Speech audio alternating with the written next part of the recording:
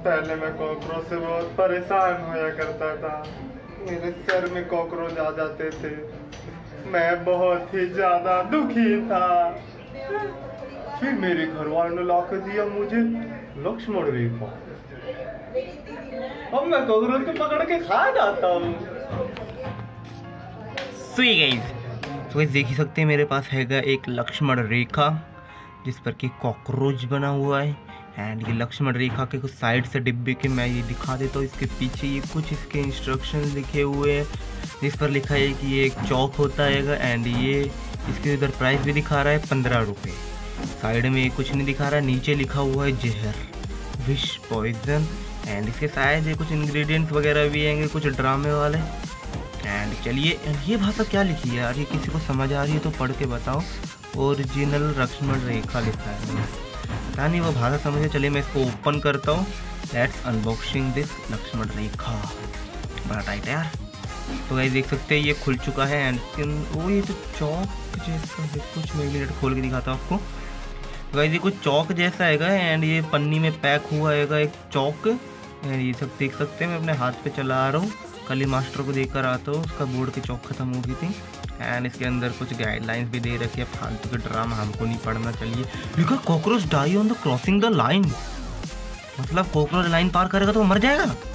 हत्या नहीं करनी यार मर्डर नहीं करनी। सी आ जाएगी, दे आएगा। चलिए देख सकते हैं। इसका हम ए फॉर एप्पल लिखेंगे। एंड एक एक्सपेरिमेंट आपको लाइव एक्सपेरिमेंट दिखाता हूँ। सनसनी खेज मेरे घर में चीटियाँ जा रही है। एंड पर्याप्त लाइन मैंने इधर खींच दी। बूम सो गाइस देख सकते हैं इधर ये चींटियाँ भाई साहब यार असली में इधर रुक तो गई। बट क्या ये क्रॉस करेगी तो मर जाएँगी? मैं ये देखना चाहता हूँ। और भी चीटियों का झुंड पीछे से आ ही रहा है। ये चौक से तो क्या ये चौक नॉर्मल चौक क्या काम आएगी इसकी जगह? ओ भाई यार, सच में यार, ये तो पार ही नहीं कर रही इस लाइन को। और मैं थोड़ी देर और देखना चाहता हूँ, कहीं ये साइड से ना निकल जाए। लाइन को इसमें मैं एक्स्ट्रा लार्ज बोल्ड कर दिया मैंने अपनी इस लाइन को। और अब देखते हैं भाई चीटी, एक मिनट, मैं इसको एक चैम्बर के रूप में तैयार कर लेता हूँ। इसका मैं ट्रैप बिछा देता हूँ, अंदर गई हुई चीटियाँ बाहर नहीं निकल पाएँगी।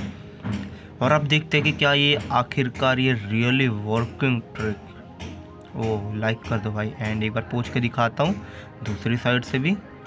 यहाँ से निकल जाओ आ जाओ तुम्हारे लिए, तुम्हारा पिंजरा मैंने तोड़ दिया। निकल जाओ। निकल निकल। तो देख सकते हो ना, लाइन तो पहुँच दी लेकिन फिर भी ये नहीं निकल रही। ओ भाई। यार निकल क्यों नहीं रहा? लाइन तो पहुँच दी मैंने। शायद इसके कुछ छोटे स्मॉल नैनो पार्टिकल्स उधर रह गए होंगे, जिनके कारण इनको डर लग रहा होगा।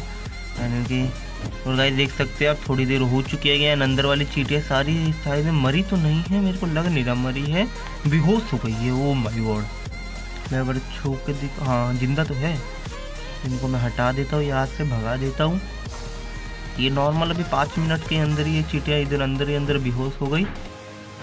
तो आई विश बड़ा ही खतरनाक है। एंड गाइस देख सकते हैं, अब इधर की पूरी लाइन इधर से पूरी गायब हो चुकी है कि चीटियों की इधर कुछ भी चीटियाँ नहीं रह गई है मेरी इस दीवार पे जो पूरी लाइन से एकदम चीटियाँ भरी हुई थी। एंड अब देख सकते हैं पूरी लक्ष्मण रेखा। और गाइस देख सकते हैं मैं एक दूसरी जगह पर आ गया हूँ। एंड इधर भी चीटों ने जंजाल बना रखा है। मैं इधर लाइन खींच देता और अब देख लीजिए। ओ माय गॉड भाई, चीटियों ने तो यार रोक दिया एकदम।